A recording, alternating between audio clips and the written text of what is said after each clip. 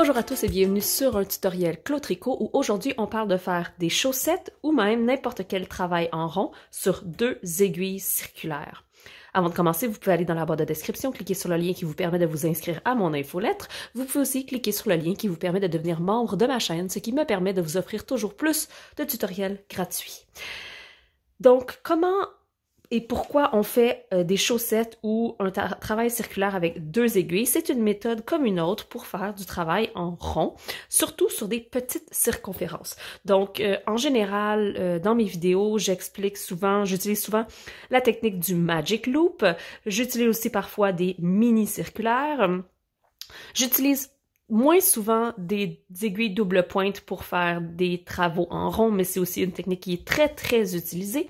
Mais pour les chaussettes, euh, ce qui se passe souvent, c'est que les gens se finissent par utiliser euh, les deux circulaires pour faire des chaussettes. Donc, je vais vous montrer aujourd'hui comment monter vos mailles sur deux aiguilles circulaires, comment travailler en rond sur les deux aiguilles circulaires. Je ne ferai pas la chaussette au complet avec le talon, etc. J'ai déjà des tutoriels ici qui expliquent comment faire le talon double, les goussets, les orteils, etc. sur une aiguille en Magic Loop. Donc, vous allez voir qu'une fois que vous êtes démarré sur deux circulaires, vous pouvez utiliser n'importe quelle vidéo ou euh, tutoriel ou patron qui explique le Magic Loop, puisqu'on va avoir aiguille numéro 1 et aiguille numéro 2. Assez de blabla. Premièrement, euh, matériel, on va avoir besoin de deux aiguilles circulaires, comme on l'a dit, on y travaille sur deux aiguilles, euh, de, de, la même grosseur, évidemment, d'aiguilles. Donc moi, j'ai des 2.25 euh, mm, c'est ma taille préférée pour des chaussettes, avec de la fingering. Hein? Donc si vous avez une grosseur plus grosse, utilisez les aiguilles qui conviennent à la grosseur de votre laine. Et comme vous allez voir, aujourd'hui, j'ai deux aiguilles qui ne sont pas la même circonférence. Ce n'est pas un problème. Généralement, les gens aiment utiliser des aiguilles de 40 euh, cm pour faire les chaussettes parce que c'est simplement moins de longueur de câble, hein, de plus long notre câble est entre nos aiguilles, le plus les aiguilles pendouillent, vous allez voir. Euh, mais moi, j'ai une aiguille de 40 cm et j'ai une aiguille de 60 cm. Ce n'est pas un problème, même que pour certaines personnes, ça va être idéal d'avoir deux aiguilles un peu différentes au début pour se démêler. L'important, c'est que nos deux aiguilles soient dans le même matériel, donc mes deux aiguilles sont en métal pour créer euh, un tissu qui est égal. Allons-y. Donc la première chose qu'on va faire, c'est monter nos mailles. Euh, je vais y aller avec un nombre aléatoire parce que je fais pas une chaussette au complet, je vais juste vous montrer comment euh, ça fonctionne. Je vais monter, disons, 40 mailles. Euh, et pour ce faire, pour moi, mettons, je ferais une chaussette à 56 mailles, mais je vais faire 40 mailles aujourd'hui parce que ça va aller plus vite. j'ai deux choix. Soit que je monte toutes les aiguilles, toutes les mailles sur la même aiguille et qu'ensuite je vais glisser la moitié. Donc, dans ce cas-là, je vais faire le montage à la continentale. Si vous ne savez pas comment le faire, j'ai une vidéo à ce sujet.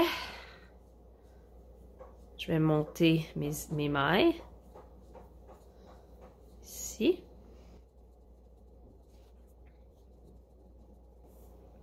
Deux, quatre, six, huit, dix, douze, quatorze, seize, dix-huit, vingt. Donc, Là, en ce moment, j'ai 20 mailles. Je vais continuer pour en faire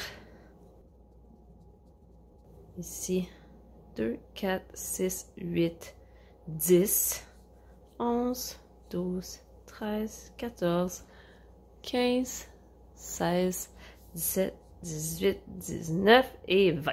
Donc, si ça, c'était l'entièreté de mes mailles, ensuite, ce que j'aurais à faire, c'est de simplement prendre mon aiguille mon aiguille numéro 2 et glisser la moitié des mailles, 1, 2, 3, sur mon aiguille numéro 2. OK? Donc ça, c'est la première option pour monter nos mailles sur deux circulaires.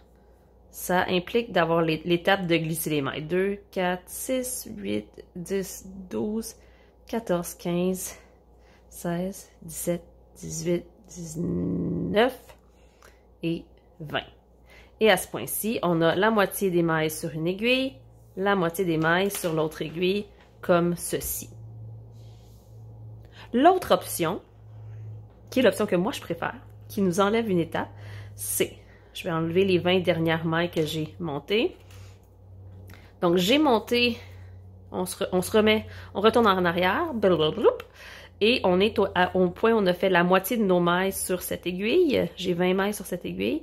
Et ce que je vais faire, c'est simplement laisser tomber cette aiguille ici, prendre la prochaine et l'aligner un côté de l'autre pour être vraiment euh, proche et pas créer de trous. Donc, vous voyez comment je tiens mon aiguille sur laquelle j'ai déjà des mailles un peu plus euh, à la verticale et je vais venir camper la deuxième aiguille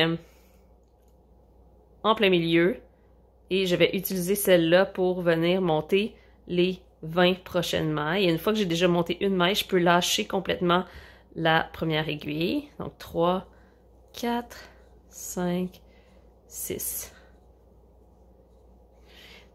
9, 10, 11, 12, 13, 14, 15, 16, 17, 18, 19 et 20. Et dans ce cas-là, euh, j'ai déjà monté sur mes deux aiguilles différentes, ce qui me donne exactement le même résultat que tantôt. J'ai pas eu besoin de... Euh, je n'ai pas eu besoin de, glisser des mailles pour me retrouver avec la moitié des mailles sur une aiguille et la moitié des mailles sur l'autre. Donc, comme vous voyez ici, je les ai mis les deux sur le câble pour voir, pour vous montrer que j'ai deux rangées de mailles qui sont connectées d'un côté, mais pas connectées de l'autre. Donc, c'est à ce moment-ci où on va commencer à tricoter en rond. L'important, évidemment, sur la première rangée, c'est de ne pas twister nos rangs. Donc, moi, j'aime quand mes bosses de points en verre qui sont créés par un montage à la continentale se font face partout. Donc, je sais que dans ce cas-là, il n'y a rien qui est twisté. Et je vais devoir retourner mes deux aiguilles pour avoir le fil, évidemment, à la euh, sur l'aiguille arrière qui va vers la droite ici. Je suis à droite en arrière. Et ce que je vais faire, c'est que je vais laisser mes mailles sur le câble, sur l'aiguille de derrière, celle-là ici, donc qui est ma petite, hein, ici. Je vais l'appeler mon aiguille numéro 2. OK? Donc, ma petite aiguille, c'est l'aiguille numéro 2. C'est celle qui est en arrière en ce moment. Et ma grosse aiguille, ma plus longue, c'est mon aiguille numéro 1.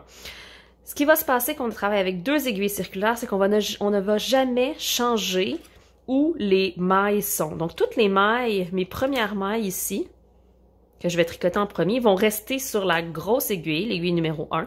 Et toutes mes mailles en arrière vont toujours rester sur la petite aiguille, qui est l'aiguille numéro 2. Donc, je vais mettre toutes mes mailles de la première section sur mon aiguille numéro 1. Je vais prendre l'autre côté de mon aiguille numéro 1. Donc, ça se connecte ici dans un grand cercle. L'autre aiguille derrière, elle ne fait que pendre. Les deux côtés ici pendent derrière. Et je vais tout simplement commencer à travailler. Donc, comme avec du Magic Loop, si vous m'avez déjà entendu parler du Magic Loop, je vais devoir coller le début et euh, la fin du rang pour ne pas créer de trous.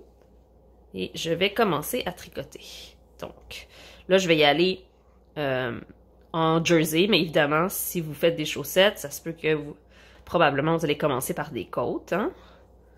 Ça change rien, la technique est la même. On commence à tricoter selon notre patron sur l'aiguille numéro 1 avec l'autre côté de l'aiguille numéro 1.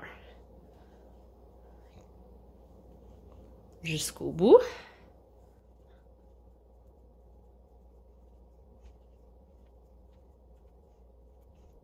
On arrive au bout de l'aiguille numéro 1.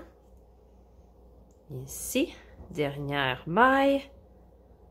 On va tirer notre aiguille numéro 1 pour mettre toutes les mailles sur le câble.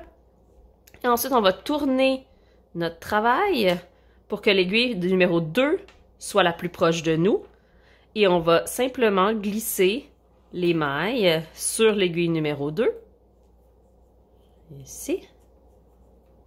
Prendre l'autre bout de l'aiguille numéro 2 et commencer à tricoter l'aiguille numéro 2 avec l'aiguille numéro 2 seulement. Donc mon aiguille numéro 1 reste derrière ou elle pend si je tiens mon fil. Évidemment, si je tiens mon travail au-dessus de mes cuisses, euh, l'aiguille numéro 1 va juste pendre derrière. Et c'est tout à fait normal.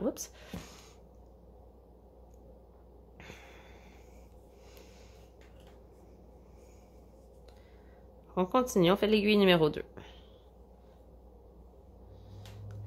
Et vous allez voir que pour moi, quand j'ai essayé cette méthode-là pour la toute première fois, ça m'a pris quelques fois à m'adapter parce que j'étais tellement habituée en Magic Loop euh, que j'avais tendance à prendre l'aiguille euh, de derrière comme si c'était du Magic Loop. Donc je me trompais d'aiguille puis je me retrouvais à, à mettre toutes mes mailles sur la même aiguille.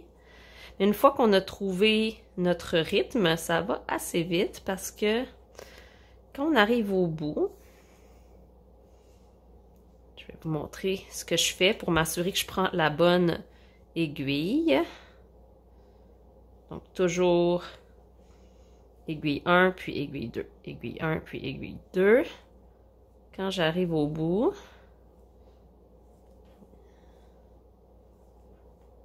ici, un rang de fait.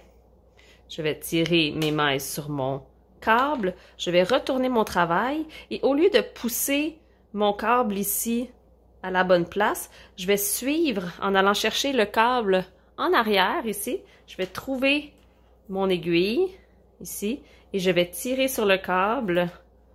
Comme ça, je suis certaine que j'ai la bonne aiguille rentrée ici et commencer à tricoter. Je peux le faire évidemment à la continentale aussi.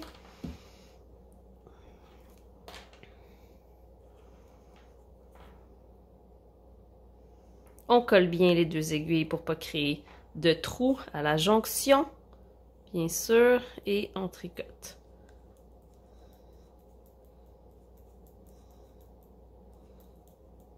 À la continentale en particulier, si j'utilise ma main droite, pour gérer mes aiguilles, euh, j'ai jamais vraiment, j'ai jamais besoin d'ajuster mon fil. Donc, je vais tourner, je vais mettre mes mailles sur mon câble, puis ici, je vais suivre mon fil qui est devant pour tirer ma mon câble à la bonne place et commencer à tricoter. Comme ça.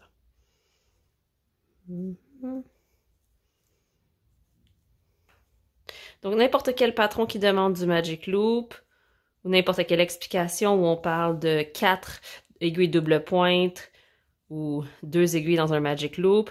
En double pointe, si on a aiguille 1, 2, 3, 4, ben l'aiguille 1, 2 correspond à notre aiguille 1, et l'aiguille 3, 4 correspond à notre aiguille 2.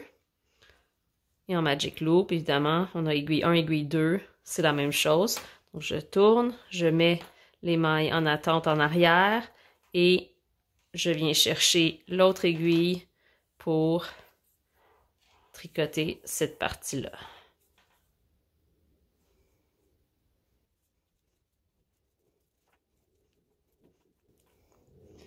Ce qui est merveilleux avec cette technique, euh, c'est qu'une fois qu'on va être rendu euh, à faire le talon, évidemment, euh, on peut simplement laisser les mailles en attente ici sur le câble, puisqu'il est déjà sur son aiguille à lui. On n'a pas besoin de fignoler avec les mailles en attente. Elles sont déjà sur euh, le câble approprié. Puis on va venir travailler en aller-retour sur l'aiguille du talon.